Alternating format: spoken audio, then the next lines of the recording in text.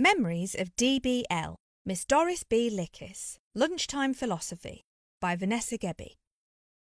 She was a doughty lady extraordinaire, tiny in stature, vast in personality.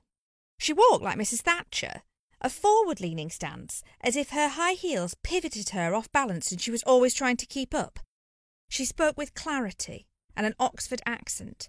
The first time I had heard off pronounced orth in 1965, when I joined the school aged 13, her hair was short, wavy, and a faded red, brushed straight back from a sharp widow's peak which seemed to stop halfway down her forehead.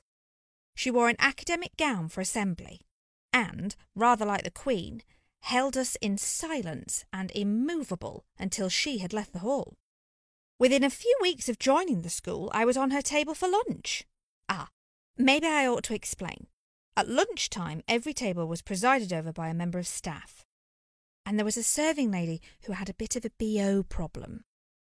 She served our table, leaned over a girl to put down a plate of something, and the girl turned away, holding her nose, making a face, making a real thing of it.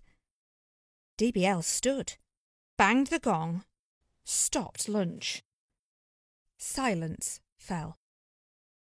She invited all the serving ladies to leave the room, and when they'd gone, she rounded on the girl who had held her nose. She told her to stand.